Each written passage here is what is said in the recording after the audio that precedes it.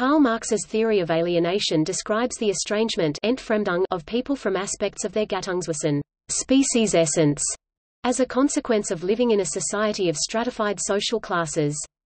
The alienation from the self is a consequence of being a mechanistic part of a social class, the condition of which estranges a person from their humanity.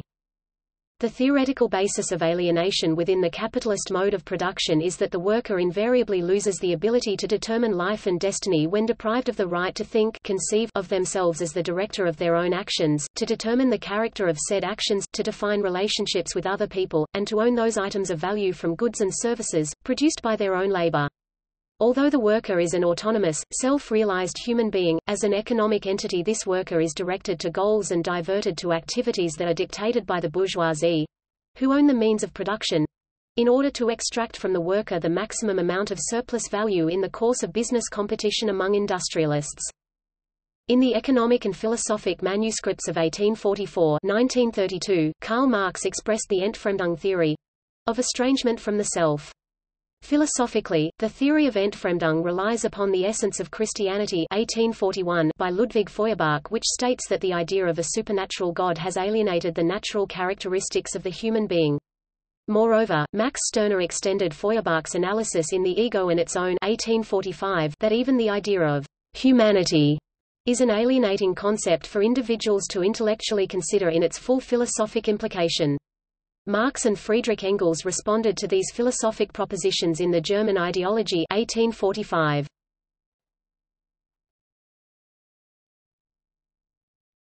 Topic: Types of alienation. In a capitalist society, the worker's alienation from their humanity occurs because the worker can express labor—a fundamental social aspect of personal individuality, only through a private system of industrial production in which each worker is an instrument, i.e., a thing, not a person. In the Comment on James Mill 1844, Marx explained alienation thus, let us suppose that we had carried out production as human beings. Each of us would have, in two ways, affirmed himself, and the other person. I. In my production I would have objectified my individuality, its specific character, and, therefore, enjoyed not only an individual manifestation of my life during the activity, but also, when looking at the object, I would have the individual pleasure of knowing my personality to be objective, visible to the senses, and, hence, a power beyond all doubt. II. In your enjoyment, or use, of my product I would have the direct enjoyment both of being conscious of having satisfied a human need by my work, that is, of having objectified man's essential nature, and of having thus created an object corresponding to the need of another man's essential nature. Our products would be so many mirrors in which we saw reflected our essential nature. In the Economic and Philosophic Manuscripts of 1844-1932, Marx identified four types of alienation that occur to the worker laboring under a capitalist system of industrial production. They are the following. Topic: Alienation of the worker from their product. The design of the product and how it is produced are determined, not by the producers who make it the workers, nor by the consumers of the product the buyers, but by the capitalist class who besides accommodating the workers' manual labor also accommodate the intellectual labor of the engineer and the industrial designer who create the product in order to shape the taste of the consumer to buy the goods and services at a price that yields a maximal profit. Aside from the workers having no control over the design and production protocol, alienation broadly describes the conversion of labor work as an activity, which is performed to generate a use value the product, into a commodity, which, like products, can be assigned an exchange value.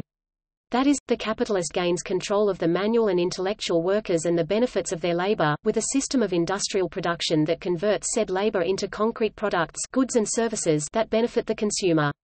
Moreover, the capitalist production system also reifies labor into the concrete concept of work, a job, for which the worker is paid wages at the lowest possible rate that maintain a maximum rate of return on the capitalist's investment capital. This is an aspect of exploitation. Furthermore, with such a reified system of industrial production, the profit exchange value generated by the sale of the goods and services products that could be paid to the workers is instead paid to the capitalist classes, the functional capitalist, who manages the means of production, and the rentier capitalist, who owns the means of production.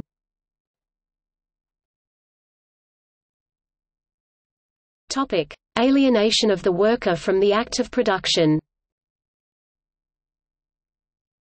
In the capitalist mode of production, the generation of products goods and services is accomplished with an endless sequence of discrete, repetitive motions that offer the worker little psychological satisfaction for a job well done. By means of commodification, the labor power of the worker is reduced to wages and exchange value. The psychological estrangement of the worker results from the unmediated relation between his productive labor and the wages paid to him for the labor. The worker is alienated from the means of production via two forms, wage compulsion and the imposed production content. The worker is bound to unwanted labor as a means of survival. Labor is not voluntary but coerced, forced labor. The worker is only able to reject wage compulsion at the expense of their life and that of their family. The distribution of private property in the hands of wealth owners, combined with government-enforced taxes compel workers to labor. In a capitalist world, our means of survival is based on monetary exchange, therefore we have no other choice than to sell our labor power and consequently be bound to the demands of the capitalist. The worker D OES not feel content but unhappy, does not develop freely his physical and mental energy but mortifies his body and ruins his mind. The worker therefore only feels himself outside his work, and in his work feels outside himself. L a bore is external to the worker p. 74, it is not a part of their essential being. During work, the worker is miserable, unhappy and drained of their energy, work mortifies his body and ruins his mind. The production content, direction and form are imposed by the capitalist. The worker is being controlled and told what to do since they do not own the means of production they have no say in production. Labor is external to the worker, i.e. it does not belong to his essential being p. 74. A person's mind should be free and conscious, instead it is controlled and directed by the capitalist. The external character of labor for the worker appears in the fact that it is not his own but someone else's, that it does not belong to him, that in it he belongs, not to himself, but to another. p. 74. This means he cannot freely and spontaneously create according to his own directive as labor's form and direction belong to someone else.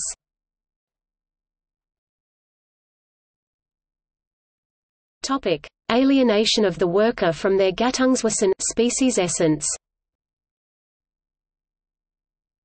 The Gattungswesen species essence, human nature of individuals is not discrete separate and apart from their activity as a worker and as such species essence also comprises all of innate human potential as a person.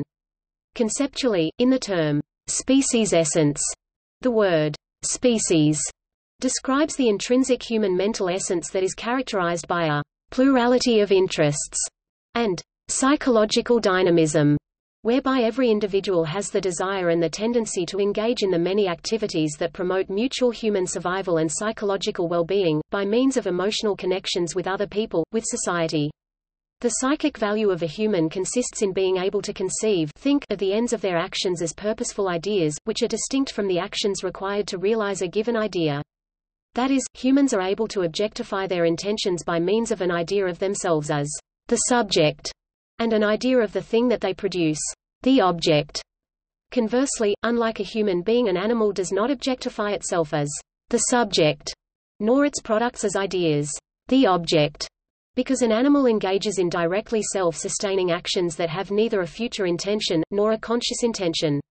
Whereas a person's Gattungswesen human nature does not exist independently of specific, historically conditioned activities, the essential nature of a human being is actualized when an individual—within their given historical circumstance, is free to subordinate their will to the internal demands they have imposed upon themselves by their imagination and not the external demands imposed upon individuals by other people.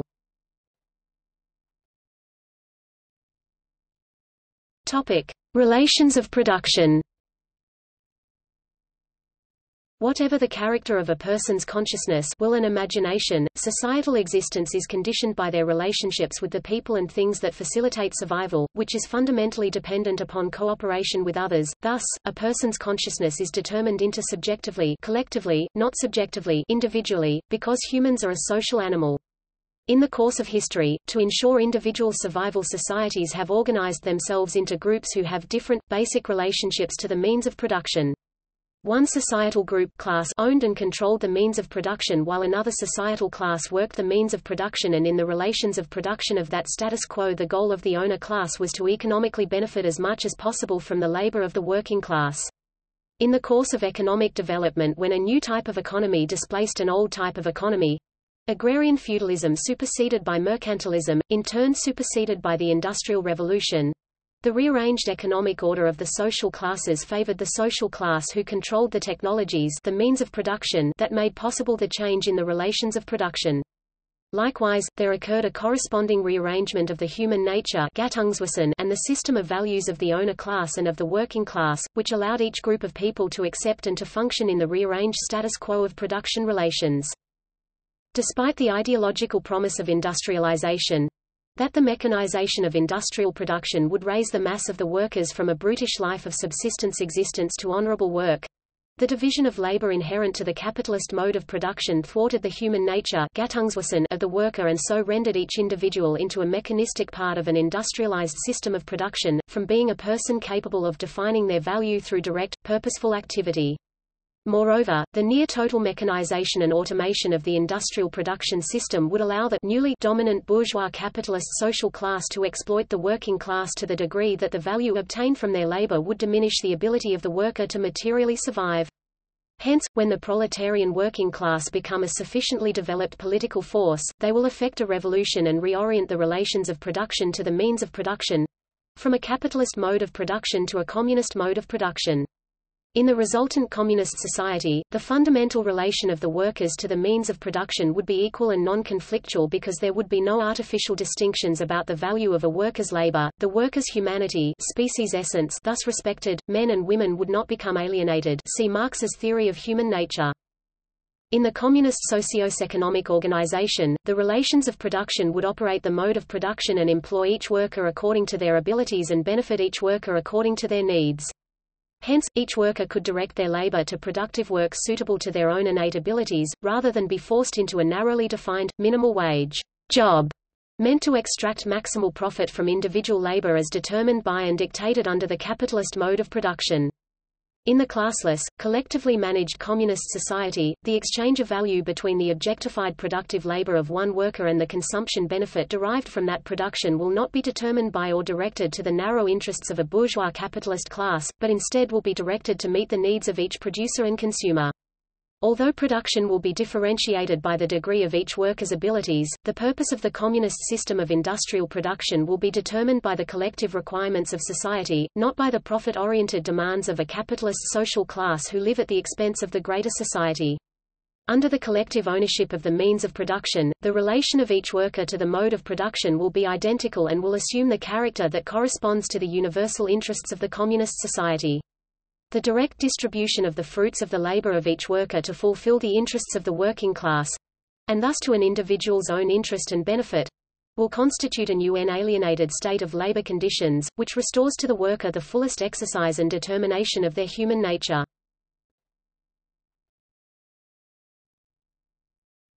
Topic. Alienation of the worker from other workers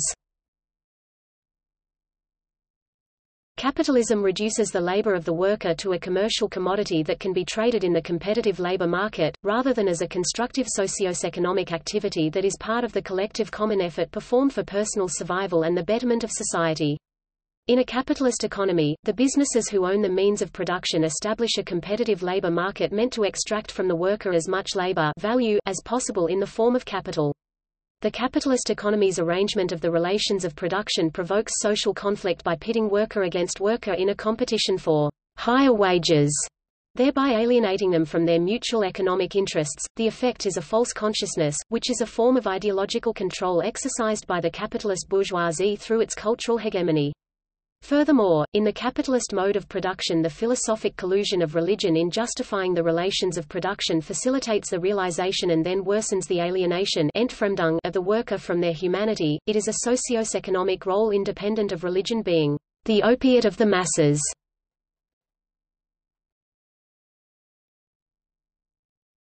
Topic: Philosophical significance.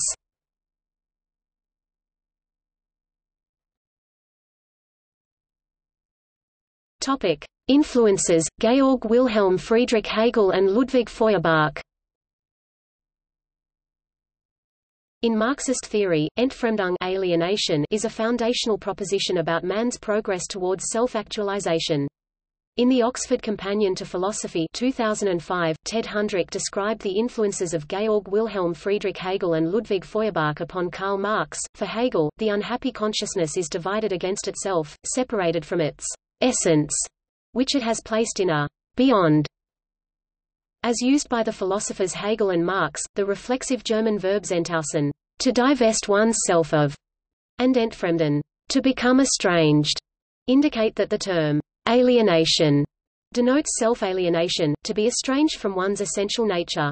Therefore, alienation is a lack of self-worth, the absence of meaning in one's life, consequent to being coerced to lead a life without opportunity for self-fulfillment, without the opportunity to become actualized, to become oneself. In the Phenomenology of Spirit 1807, Hegel described the stages in the development of the human Geist, spirit, by which men and women progress from ignorance to knowledge, of the self and of the world. Developing Hegel's human spirit proposition, Marx said that those poles of idealism, spiritual ignorance, and self-understanding, are replaced with material categories, whereby spiritual ignorance becomes alienation, and self-understanding becomes man's realization of his Gattungswesen species essence. Topic: Entfremdung and the theory of history. In Part 1, Feuerbach, Opposition of the Materialist and Idealist Outlook. Of the German Ideology 1846, Karl Marx said the following, Things have now come to such a pass that the individuals must appropriate the existing totality of productive forces, not only to achieve self-activity, but also, merely, to safeguard their very existence that humans psychologically require the life activities that lead to their self-actualization as persons remains a consideration of secondary historical relevance because the capitalist mode of production eventually will exploit and impoverish the proletariat until compelling them to social revolution for survival. Yet, social alienation remains a practical concern, especially among the contemporary philosophers of Marxist humanism. In the Marxist humanist theory of state capitalism 1992, Raya Dunayevskaya discussed and described the existence of the desire for self-activity and self-actualization among wage labor workers struggling to achieve the elementary goals of material life in a capitalist economy.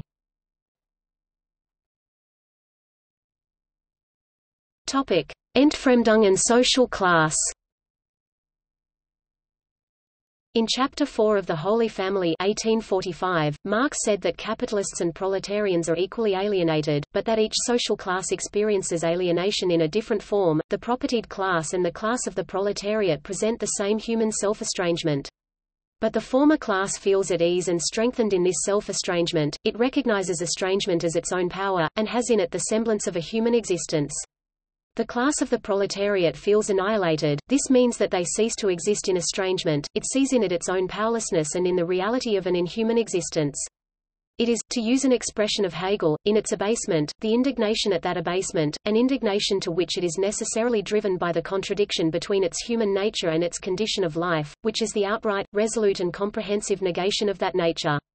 Within this antithesis, the private property owner is therefore the conservative side, and the proletarian the destructive side. From the former arises the action of preserving the antithesis, from the latter the action of annihilating it.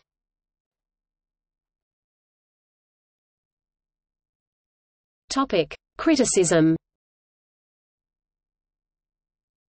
In discussion of random materialism Materialisme aléatoire, the French philosopher Louis Althusser criticized such a teleological goal-oriented interpretation of Marx's theory of alienation because it rendered the proletariat as the subject of history, an interpretation tainted with the Hegelian idealism of the philosophy of the subject, which he criticized as the bourgeois ideology of philosophy. See History and Class Consciousness 1923 by Georgi Lukács.